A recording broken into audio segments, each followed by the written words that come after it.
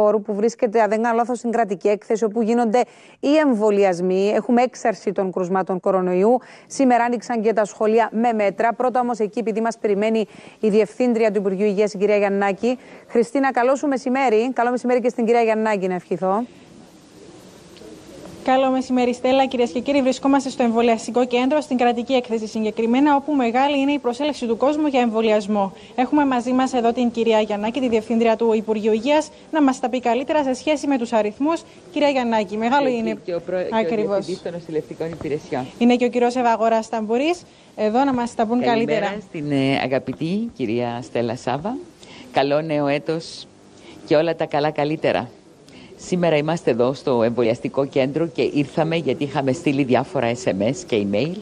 Ε, ως σήμερα αυτή τη στιγμή είναι γύρω στα 150 άτομα τα οποία έχουν προσέλθει.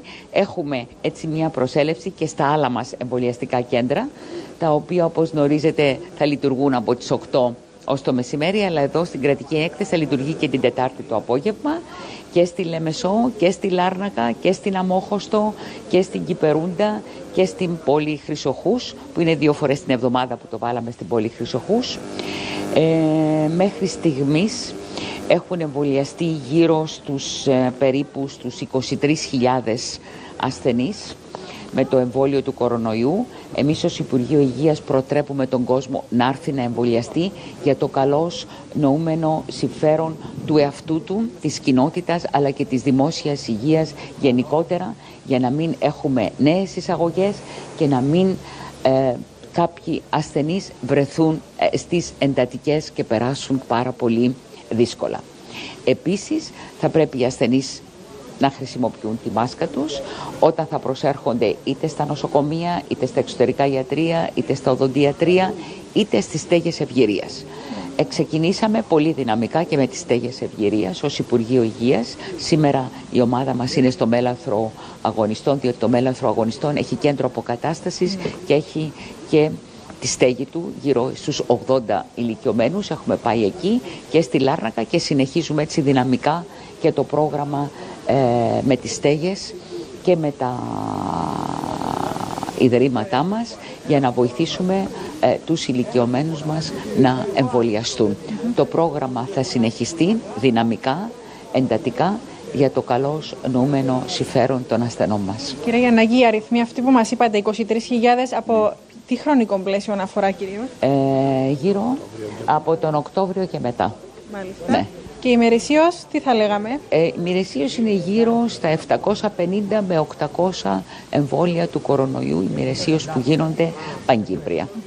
Και οι συμπολίτες μας ε, που έρχονται να εμβολιαστούν αφορούν κυρίως την πέμπτη, την έκτη δόση; Περίπου την πέμπτη, την έκτη δόση, αλλά εμείς έχουμε βάλει να εμβολιάζεται όλος ο κόσμος. Δεν έχουμε συγκεκριμένα άνω των 60 ή άνω των 70. Το έχουμε ανοίξει για όλες τις ηλικίες. Οπότε οποιοδήποτε μπορεί να προσέλθει και να εμβολιαστεί και είναι, το επαναλαμβάνω για πολλωστή φορά, ότι είναι για το καλό νόμενο συμφέρον των ασθενών μας.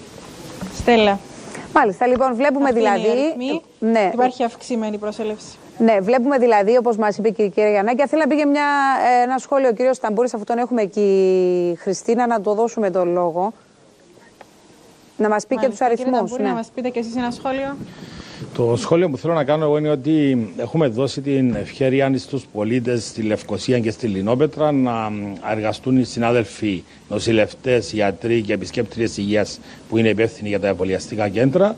Ε, και το απόγευμα της Τετάρτης, έτσι δίνουμε τη δυνατότητα σε κάποιους πολίτες που εργάζονται τα πρωινά ε, να έρθουν το απόγευμα.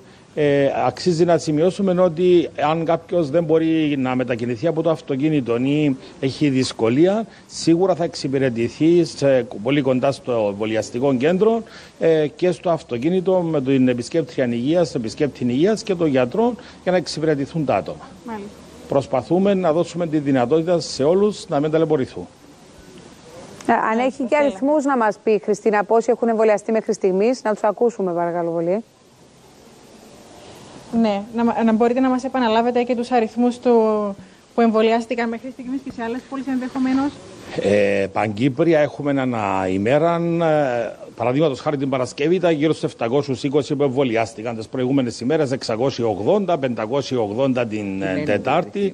Είναι μεταξύ 600 με 700 τώρα από την περασμένη εβδομάδα. Ε, φαίνεται τώρα με το κρύο και με τα θετικά κρούσματα που ανακοινώνονται στα μέσα μαζικής ενημέρωσης να ε, κάποιοι πολίτες να έχουν ε, ανησυχήσει λίγο και να έρθουν να εμβολιαστούν. Ε, είναι δικαίωμα, δεν υποχρεώνουμε οποιοδήποτε ότι ε, πρέπει να εμβολιαστεί. Έτσι δίνουμε τη δυνατότητα σε όποιον θέλει να περάσει να εμβολιαστεί. Να. Σε σχέση με την επάρκεια εμβολίων υπάρχει αρκετή; Υπάρχουμε, υπάρχει, υπάρχει εμβολίων και για την γρήπη και για τον ε, κορονοϊό. Έτσι έχουν την επιλογή οι πολίτες να διαλέξουν σε ελεύθερη προσέλευση να εμβολιαστούν. Λοιπόν, αυτά είναι τα δεδομένα. Στέα. Να είσαι καλά, Χριστίνα. Σας ευχαριστούμε πολύ και τους δύο. Είπαμε, κυρίες και κύριοι, ραγδαία αύξηση των κρουσμάτων το τελευταίο διάστημα. Ποιον έχουμε τώρα μαζί μας, παρακαλώ πολύ. Θα πάμε στο φαρμακοποιό, ο κύριος Πλούταρχος Γεωργιάδης, είναι πρόεδρος του Συνδέσμου Φαρμακοποιών. Καλό σας μεσημέρι, κύριε Πλούταρχε.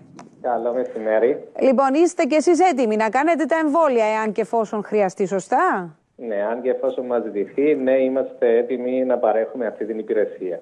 Δεν σας έχει ζητηθεί ακόμη ή δεν σας έχουν δώσει οδηγίες από πλευράς του αρμόδιου Υπουργείου, κύριε Πλούταρχε. Ε, Εμείς ε, από πάρα πολύ καιρό, πριν, ε, πριν ακόμα αρχίσει η πανδημία, ναι. είχαμε δηλώσει το ενδιαφέρον μας για την εποχιακή γρήπη, η οποία την εκπαίδευση την έχουμε τόσο από τον Πανεπιστήμιο μας, αλλά όσο και από διάφορα σεμινάρια τα οποία κάνουμε κάθε χρόνο ακόμα και πρώτες βοήθειες για να ανταπεξέλθουμε ε, στο, στο θέμα της υπηρεσίας αυτής.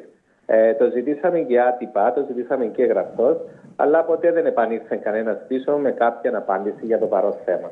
Μάλιστα. Και ναι. εμείς κρούμε τον κούδρα του κινδύνου και λέμε ότι εφόσον λένε ότι 800 άτομα την ημέρα εμβολιάζονται, αν βασικά εμβολιάζονται στο φαρμακείο της γειτονιάς, διότι ο φαρμακοποιός είναι ο πιο προσβάσιμος λειτουργός υγείας, Λοιπόν, από τρία ή τέσσερα εμβόλια να έκανε ο κάθε φαρμακοποιός την ημέρα, mm-hmm. θα ήταν τετραπλάσιος, πενταπλάσιος ο αριθμός που θα εμβολιάζονταν κάθε μέρα. Πιστεύετε όμως, κύριε Γεωργιάδη, ότι ήταν θέμα προσβασιμότητας των, των πολιτών προς τα εμβόλια που είναι μειωμένη η ζήτηση; Ναι, φυσικά. Τουλάχιστον για την εποχιακή γρήπη, mm. ναι, διότι ε, άλλο να είναι κοντά σου το, το άτομο να πάει σπατητό δύο λεπτά για να ανοίξεις την πόρτα να πεις ναι, να εμβολιαστώ, και άλλο να το τροχοδρομήσει από το βράδυ, ότι κάποιος πρέπει να με πάρει, πρέπει να πάω ναι, στην ναι, ναι. στην Ιαπεκία Ναι, ναι. Νομίζω ότι είναι θέμα ευκολίας. Μάλιστα. Μάλιστα. Και τώρα εσείς αναμένετε το πράσινο φως, ίσως με τον νέο Υπουργό Υγείας, κύριε Γεωργιάδη, να το επαναφέρετε το έτοιμά σας ε, και εισακουστείτε. Τώρα, ε, τι γινόταν το Σαββατοκύριακο στα φαρμακεία, πολλοί κόσμος για να κάνει τεστ, κύριε Γεωργιάδη; Ε, ο κόσμος ήταν ελαφρώς αυξημένο. Ο λόγος είναι διότι έχει γίνει κάθε 48 ώρες και όχι κάθε 72. Πάντα τις Κυριακές έχουμε περισσότερο κόσμο για τα rapid test για τον λόγο ότι υπάρχουν οι επισκέψεις τους ή εγχειρήσεις mm-hmm. που θα γίνουν τη Δευτέρα. Ήταν ελαφρώ αυξημένο, ναι. Ε, και για ζήτηση self-test ελαφρώ αυξημένο. Τώρα ζητούν αυτό το τριπλό, κύριε Γεωργιάδη, έτσι; Που, ναι. που είναι και για γρήπη Α, COVID. Γρήπη Α, γρήπη Β και COVID. Μάλιστα. Και αυτό το τριπλό τι τιμή έχει περίπου, κύριε Γεωργιάδη; Ε, είναι 7 ευρώ ε, με το ΦΠΑ. 7 ευρώ συν το ΦΠΑ. Μάλιστα. Κάπου εκεί νομίζω ότι είναι 7 ευρώ με το ΦΠΑ. Και τώρα για να ενημερώσουμε και τον κόσμο, με, με αυτό το τριπλό το τεστ όταν το κάνεις, βγαίνεις θετικό σε μία από τους ιούς, όχι και στους δύο ή στους τρεις, έτσι; Πώς πάει, ε, Έχει τύχει να βγουν σε δύο, να βγουν και σε COVID και σε γρήπη Β. Mm. Και τι σημαίνει αυτό, ότι έχουν και τα δύο; Ε, ναι. Συνδυασμός δηλαδή των ιών. Μάλιστα. Ναι, ναι, έχει τύχει. Λοιπόν, υπάρχουν self-test στα φαρμακεία, φαρμακεία, δεν έχουν εξαντληθεί εξαιτία τη Προς το παρόν υπάρχει επάρκεια, ναι, προς ναι. το παρόν υπάρχουν. Και μάσκες πρέπει να πουλάτε τώρα το τελευταίο διάστημα, κύριε Ουγέδη. Είναι σαν... Ναι, και μάλιστα προτρέπουμε και εμείς στον κόσμο που μπαίνει μέσα στα φαρμακεία να κρατά τις αποστάσεις του και να φορεί μάσκα. Όχι γιατί θα θα κολλήσει κάποιον άλλον, αλλά μπορεί και κάποιος άλλος να τον κολλήσει αυτό. Σωστό. Πολύ σωστό. Οπότε, να προσέχουμε όλοι για να μας προσέχει και ο Θεός, έλεγε η γιαγιά. Έλεγαν όλες οι γιαγιάδες. Να είστε καλά, κύριε Γεωργιάδη, σας ευχαριστούμε πάρα πολύ. Ε. Να έχετε καλή συνέχεια. Πάμε να δούμε τι γίνεται στα νοσοκομεία μας από το COVID. Χαράλαμπο Χαριλάου μαζί μας. Καλό μεσημέρι, κύριε Χαριλάου. Καλό μεσημέρι σε όλους. Έχουμε αύξηση στις νοσηλίε. Είμαστε πέραν των 90 νοσηλευόμενων ασθενών αυτή τη στιγμή. Είναι τα αποτελέσματα των, των γιορτών ε, τόσο των Χριστουγέννων όσο και της ε, πρωτοχρονιάς. Ε, τα περισσότερα άτομα είναι ηλικιωμένα. Αυτό ισχύει για όλα τα, για όλα τα περιστατικά. Ε, είναι άτομα άνω των 75 ετών, ε, άτομα που έχουν χρόνια νοσήματα, έχουν συνοσυρότητες, έχουν χαμηλό αμυντικό ε, σύστημα και πολλοί εξ αυτών προέρχονται από οίκους ευγυρίας που σημαίνει ότι οι, οι αλυσίδες μετάδοσης συνεχίζουν να υφίστανται σε τέτοιου οίκους.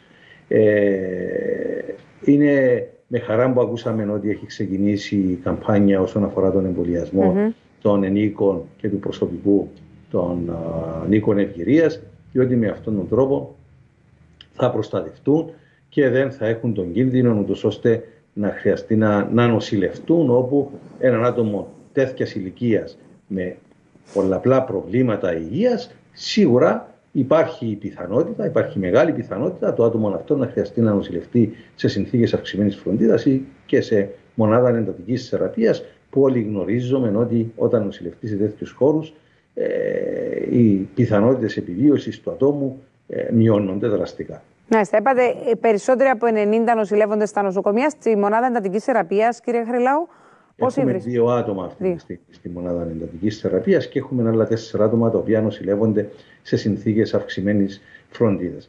Επειδή σήμερα έχουν ανοίξει και τα σχολεία και έχουμε ακούσει αρκετά περί τούτου ότι πιθανόν να υπάρξει και μια διασπορά mm-hmm. στους χώρους αυτούς αλλά αφορά περισσότερο νέους ανθρώπους που δεν αναμένεται ότι θα νοσηλευτούν. Εκείνο το οποίο πρέπει να, να τονίσουμε και μάλλον να επιστήσουμε την προσοχή είναι ότι ναι μεν τα νεαρά άτομα πιθανόν να μην χρειαστούν την οποιαδήποτε νοσηλεία, αλλά τα νεαρά άτομα αυτά πρέπει να είναι πολύ προσεκτικά, ούτως ώστε να μην μεταδώσουν τον ιό στους, στα πιο ηλικιωμένα άτομα, είτε στους γονείς τους, είτε στους παππούδες τους, στις γιαγιάδες τους. Γι' αυτό όταν τους επισκέπτονται πρέπει να κάνουν έναν ε, rapid test, να δουν αν είναι αρνητικοί, πρώτον, και δεύτερον να τηρούν όλες εκείνες, όλα εκείνα τα μέτρα, τα απλά, πλένουμε τα χέρια μας, κρατάμε αποστάσεις, φοράμε μάσκα, γιατί είναι μια περίοδος δύσκολη. Είναι μια περίοδος που πέραν από το COVID έχουμε και άλλες λοιμώξεις στα νοσοκομεία μας. Mm-hmm. Τη στιγμή όσον αφορά τον ενήλικο πληθυσμό, τον ενήλικα πληθυσμό έχουμε ε, και RSV και δεν είναι μόνο στα, στα παιδιά του RSV αλλά και στους ηλικιωμένους. Έχουμε άλλες ιογενείς ή βακτηριδιακές λοιμώξεις. Ξεκινήσαμε να βλέπουμε γρήπη παρόλο ότι είναι λίγα τα περιστατικά. Γρήπη Α, λέτε κύριε Χαριλάου, έτσι; Έχουμε καταγραφεί και κρουσμάτων εκεί. Ναι, έχουμε και κρούσματα, έχουμε περιστατικά γρήπης. Αναμένεται η γρήπη συνήθως εμφανίζεται περί τα μέσα Ιανουαρίου μέχρι τέλος Φεβρουαρίου. Πιθανόν να έχουμε λίγη καθυστέρηση εξαιτίας και, και των καιρικών συνθήκων γιατί μπορεί να είμαστε σε χειμερινή περίοδο αλλά είναι ευθυνοπορεινέ οι συνθήκες, οι καιρικές συνθήκες, όμως έστω και αν είναι ευθυνοπορεινές, εν τούτης ο κόσμος συνοστίζεται σε κλειστούς χώρου, σε χώρους χωρίς τον κατάλληλο εξαερισμό και η μετάδοση γίνεται πιο εύκολα. Άρα αναμένουμε να δούμε και εκεί μια αύξηση των, των περιστατικών. Τώρα, τι γίνεται, τι γίνεται με τους ελέγχους στα νοσοκομεία; Ελέγχετε, κύριε Χαριλάου, τους επισκέπτες που μπαίνουν μέσα αν έχουν κάνει το rapid test; Κοιτάξτε να δείτε πριν την τελευταία απόφαση του Υπουργικού Συμβουλίου, το διάταγμα προνοούσε μόνο για επισκέπτες στους θαλάμους. Και έναν άτομο το οποίο πήγαινε είτε στα εξωτερικά ιατρία, είτε στο φαρμακείο, ή σε άλλους χώρους του νοσοκομείου για να εξεταστεί από τους γιατρούς, δεν είχε την υποχρέωση να έχει αρνητικό rapid test. Τώρα με το νέο διάταγμα, μετά και από τη δική μας την εισήγηση, διότι ε, το έχουμε ζητήσει ε, να γίνει αυτό το πράγμα. Όποιος εισέρχεται στο νοσοκομείο, είτε για να πάει στα εξωτερικά ιατρία, είτε στο φαρμακείο, είτε να επισκεφθεί τον οποιονδήποτε ασθενή ε, στους θαλάμους, θα πρέπει να έχει αρνητικό rapid test PCR εντός 72 ώρων και να φέρει, να φέρει μάσκα. Και το επισκεπτήριο ε, έχει περιοριστεί κάπως, δεν, ε, δεν είναι τόσο, δεν είναι, οι πρόνοιες που έχουν ληφθεί δεν είναι πολύ αυστηρές, ναι, μεν, αλλά υπάρχουν κάποιοι περιορισμοί. ε, είναι για κάθε ασθενή δύο επισκέψεις την ημέρα από δύο διαφορετικά άτομα, ναι. έναν άτομο κάθε φορά για έναν δεκάλεπτο, το πολύ το πολύ, έναν τέταρτο και οι λόγοι είναι, είναι ευνόητοι γιατί υπάρχει μεγάλη διασπορά ε, εντός, των, εντός των χώρων. Γίνεται πολύ εύκολα η, η διασπορά γιατί υπάρχει. Ε, ναι, ποιος τους ελέγχει όμως αυτούς τους επισκέπτες, ποιος τους ελέγχει στα νοσοκομεία, η φρουρή ασφαλείας ή. Ακριβώς. Ε, υπάρχει φρουρός ασφαλείας σε κάθε νοσηλευτήριο όπου ναι. ελέγχει, αλλά όσον αφορά τα επισκεπτήρια υπάρχει και η ευθύνη στον θάλαμο να, δια, να διατηρήσουν αυτόν το οποίο ναι, ναι. έχω αναφέρει προηγουμένως. Μάλιστα. Λοιπόν, κύριε Χαριλάου, και να πούμε, μιας και το αναφέρατε, γιατί ξεκίνησαν σήμερα τα σχολεία, πίσω οι μαθητές στα θρανία. Υπάρχει αυτός ο φόβος της διασποράς του ιού. Όπως πολύ ορθά μας είπε ο κύριος Χαριλάου, δεν υπάρχει φόβος ότι ο ιός, ε, εάν διασπαρεί στους νέους, θα καταλήξουν στα νοσοκομεία. Γιατί πλέον, κύριε Χαριλάου, είναι και πιο ήπια τα συμπτώματα του COVID από ό,τι τα θυμόμαστε μόλις ξεκίνησε. Υπάρχει όμως ο φόβος αυτά τα νεαρά πρόσωπα να το μεταφέρουν στα ηλικιωμένα πρόσωπα, στις ευάλωτες ομάδες, που αυτοί θα χρειαστούν την νοσηλεία. Ένα από τα μέτρα που λέει το Υπουργείο Παιδείας και το Υπουργείο Υγείας είναι όσα παιδάκια ή παιδιά, οι πιο μεγάλοι έφηβοι έχουν συμπτώματα, να μένουν στο σπίτι και δεν υπάρχει απουσία. Αυτό είναι ξεκάθαρο, το λέμε στους γονιούς που πιθανόν να μας βλέπουν τώρα, γιατί τα παιδιά είναι στο σχολείο, ναι. να μην τα στέλνουν και δεν θα έχουν απουσία και να μιλούν με τον διευθυντή ή την ε, καθηγήτρια, διευθύντρια, την καθηγήτρια του κάθε σχολείου. Και επίσης να τηρούν τους κανόνες υγιεινής που είναι βασικοί, τους λέμε από την πρώτη μέρα κύριε Χαριλάου. Έχετε απόλυτο δίκιο να μου επιτρέπετε έτσι καταληκτικά να πω το εξής: Ότι μπορεί να μην είναι υποχρεωτική η απομόνωση στο σπίτι όπως ήταν εν καιρό πανδημίας. Μπορεί να μας δίνεται η ευχαίρεια να κυκλοφορούμε με μάσκα, παραδείγματος χάρη, αλλά το πιο σωστό ε, είναι όταν έχουμε συμπτώματα, όταν γνωρίζουμε ότι είμαστε θετικοί, είναι σωστό να περιοριζόμαστε. Ναι. Γιατί όταν έρθουμε σε επαφή με ευάλωτες ομάδες, με ηλικιωμένα άτομα ή και άλλες, άλλους ασθενείς που έχουν χαμηλό αμυντικό σύστημα, τότε υπάρχει ο κίνδυνος στα άτομα αυτά όταν κολλήσουν να νοσηλευτούν και μάλιστα ε, βέβαια. και να έχουν επιπλοκές. Γι' αυτό πρέπει να είμαστε πάρα πάρα πολύ προσεκτικοί. Λοιπόν κύριε Χαριλάου σας ευχαριστούμε πάρα πολύ. Να είστε καλά, να έχετε καλή συνέχεια.